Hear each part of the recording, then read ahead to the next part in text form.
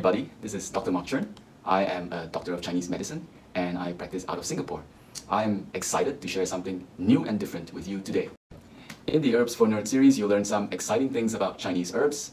We will be going into the market, the plantations, the medicinal shops. We'll be covering things about herbs, herb differentiation, interesting things about herbs. I hope you enjoy my videos. two, Let's slowly, three, go. slowly. Mm. A real Haijinsha will burn. So it's inflammable. Haijinsha is one of the herbs in Chinese medicine we use to dissolve stones. It could be gallbladder stones or renal or bladder bladder stones. And it's, it's a very useful herb. Now, uh, in this video, we're going to cover two ways to distinguish a real Haijinsha from a fake one. Haijinsha is the spores underneath the Japanese fern. These spores look like powder. There are two ways to distinguish a real good from a fake one. The first way is to use water, and if you put spores atop water, it will not sink, it will float. So that's one way.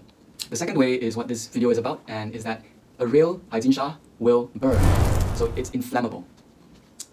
In this video, we're gonna test if the goods in a medicinal shop in Bozhou in China contains the real good or an adulterated one.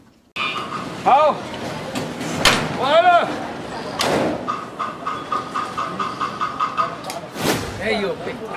我是分的，浪费了，浪费我嘞，疯了，是疯了，一百块钱。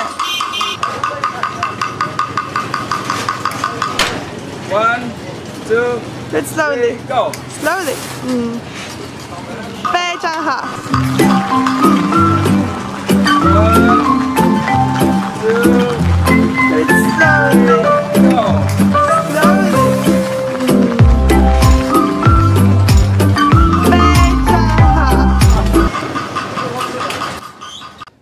This video. If you like it, please click like. And also to watch other videos, please hit subscribe below.